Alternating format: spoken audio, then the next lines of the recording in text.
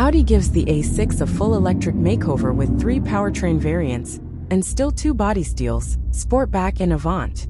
Developed on Audi's PPE electric platform, the e-tron Performance is a 270 kilowatts rear-wheel drive, while the S6 e-tron is a 370 kilowatts four-wheel drive.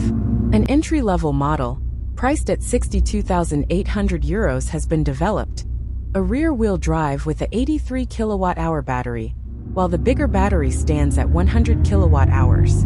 Depending on variants, the energy consumption goes from 14.8 to 17.4 kilowatt hours per 100 kilometers. The maximum range reaches 756 kilometers, and fast charge from 10 to 80% takes 21 minutes. The performance version starts at 75,600 euros and the Quattro at 79,800 euros. Count approximately 2,000 euro more for the Avant.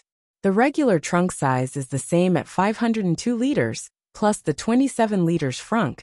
The difference comes with seats down 1330 for the Sportback and 1442 for the Avant.